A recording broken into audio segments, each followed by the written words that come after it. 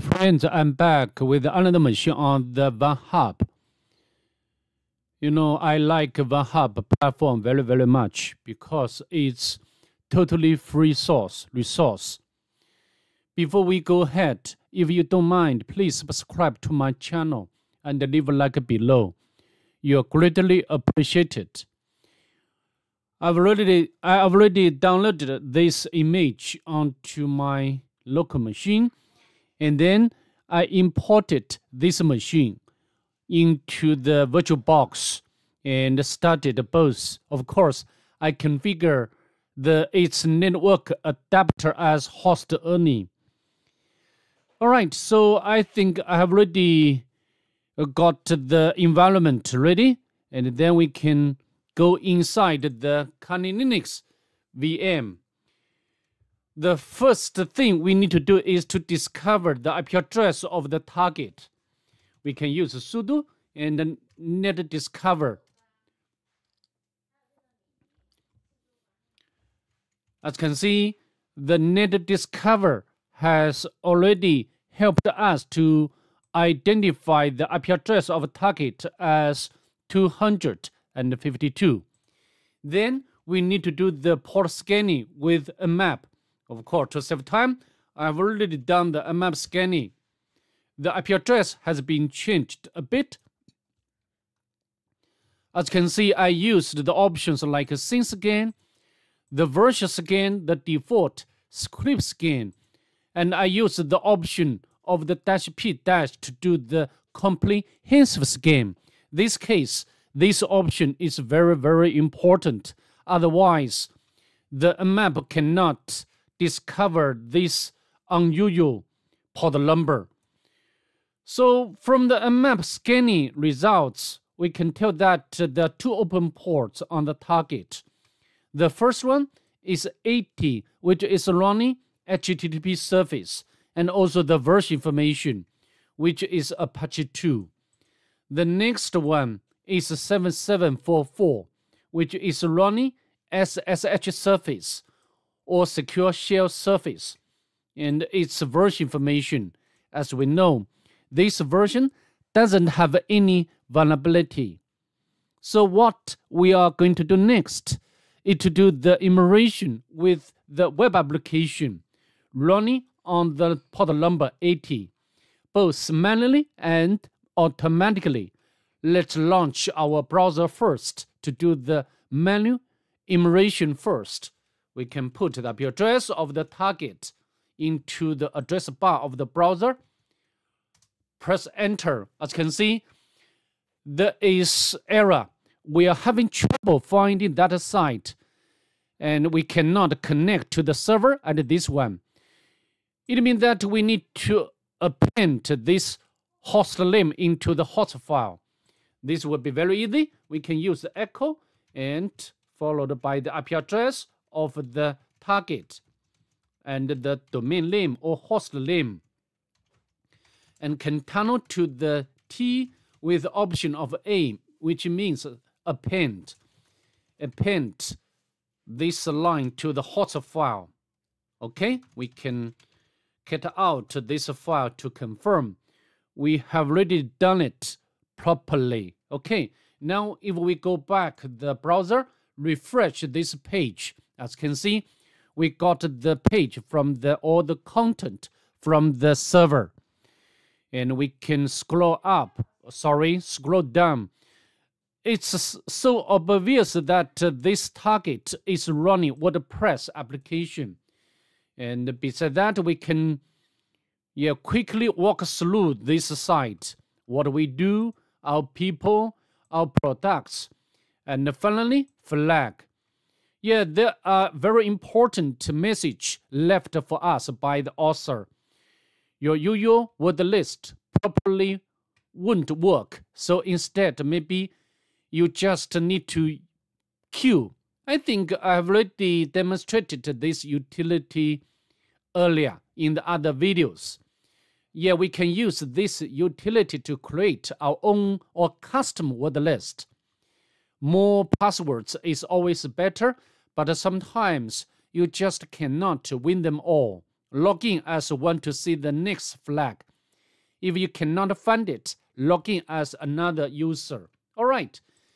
Next, we need to check the source code of this page. However, nothing interesting at all from the source code. Next, we can use, before we try to yeah, create the word list, we need to do the immersion with the web application. Like uh, we need to check whether this site has robots file. Robots not found. Next, we can use Nicto. You know, Nicto is very important tool for the web application immersion. As you can see, yeah, it can reveal information about the version information, the header information, even sometimes can emulate out some common files or directories. So we just uh, wait for this to be completed. Again, from the Nicto, we can confirm our, our earlier discovery. This site is running WordPress application or installation is WordPress. Next, we can use GoBuster to do the immersion, directory immersion.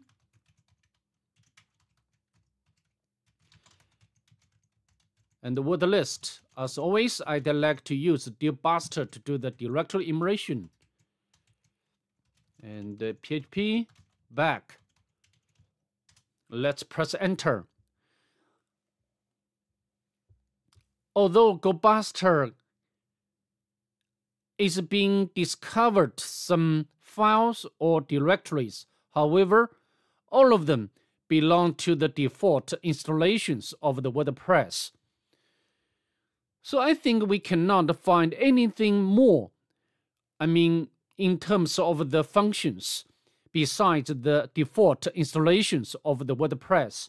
To save time, I'd like to quit from the GoBuster directory immersion. So what can we do next?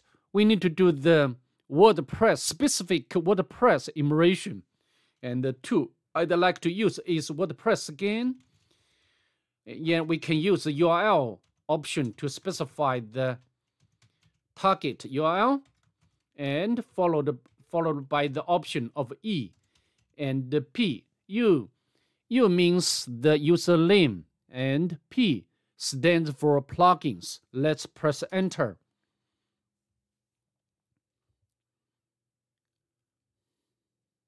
All right, the WordPress scan utility has identified three users.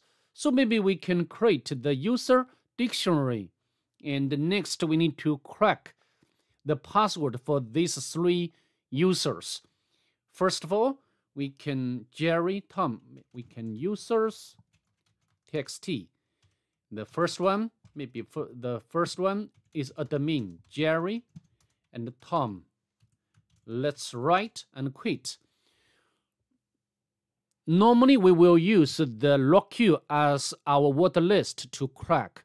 However, as instructed by the author in the in the homepage flag section we cannot in this case we cannot use the UU word list or LocQ. We need to create our own word list by Q command.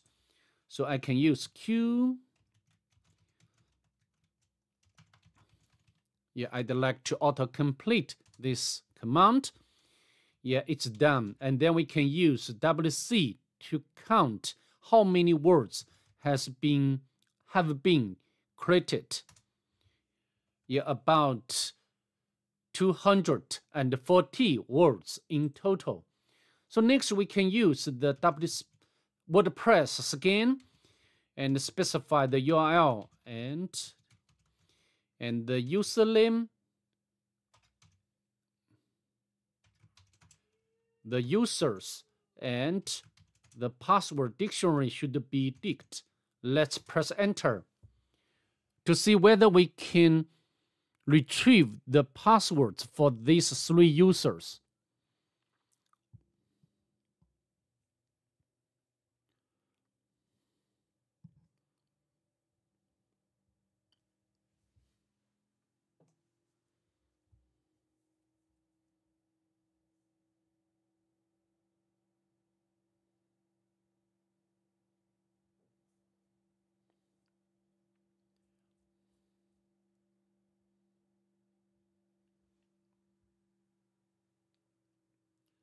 Yeah, we got uh, two valid combinations of username and password. Next, we can log in to the WordPress portal or the or the WordPress panel with this username and the password. We can maybe we can note down these two lines onto our notebook. Next, we can log in to the WordPress panel. Should be admin. And the username is Jerry. And the password is this one. Login. It works. However, from the left section, if you're familiar with the WordPress, this user, I mean the Jerry, is not administrator. And however, we can navigate to posts to find something interesting. Nothing. And uh, yeah, flag two. So if you cannot exploit the WordPress and take a shortcut, there is another way all right, so we can pages. This one. The flag 2. No need. All right. So I think we cannot do anything more with this user. Maybe we can. So can we use this username Jerry and password to log in via SSH. Let's do it. Jerry.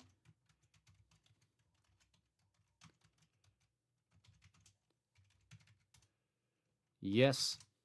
And the password.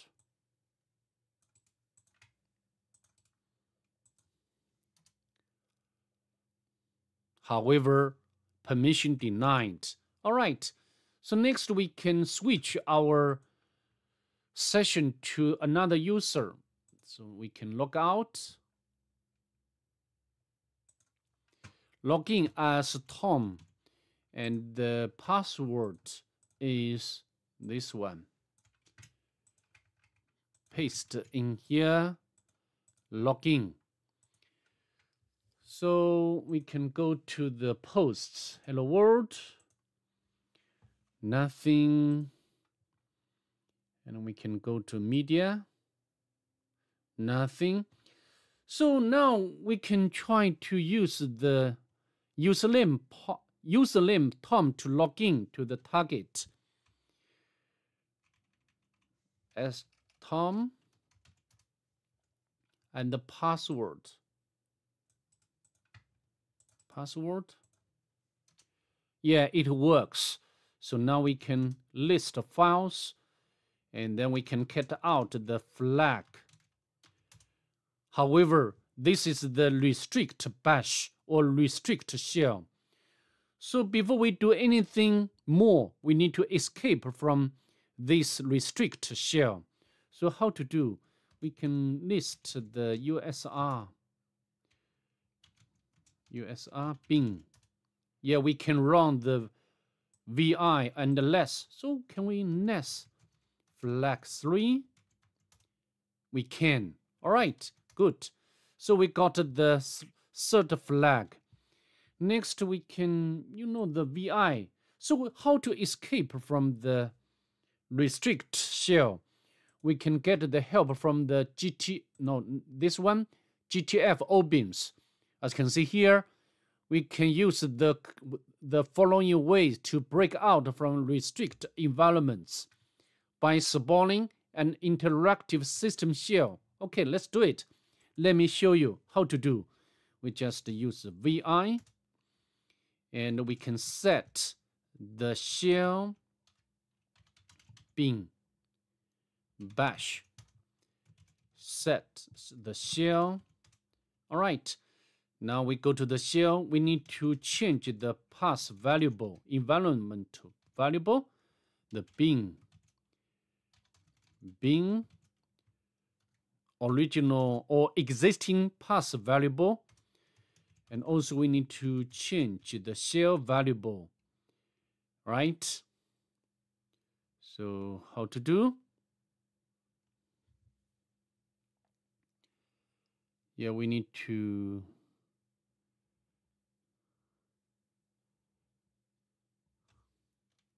echo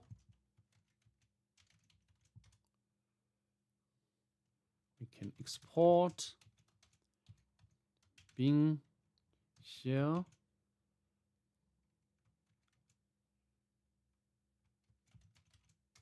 all right. So I think now we can use other commands. Can we now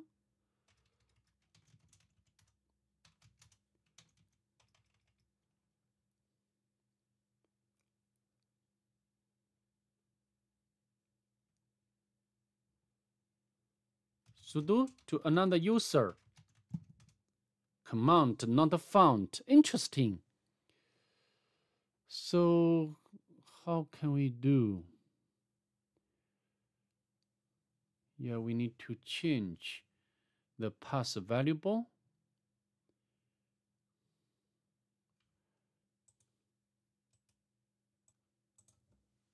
Okay, I think I have already figured out the issue what caused the problem. I need to export the the shell type should add the bin bash rather than bin shell. Okay, so now as you can see, it works. So what can we do next? We can list the files. Yeah, we can get the the third flag, no problem. And uh, now we can go to home go to the Jerry. Here we got the flag txt. Okay. Good to see that you've made it this far, but you're not home yet. The only flag that really counts. All right. Jit. So maybe we can, can we use the password switch user to Jerry. And password.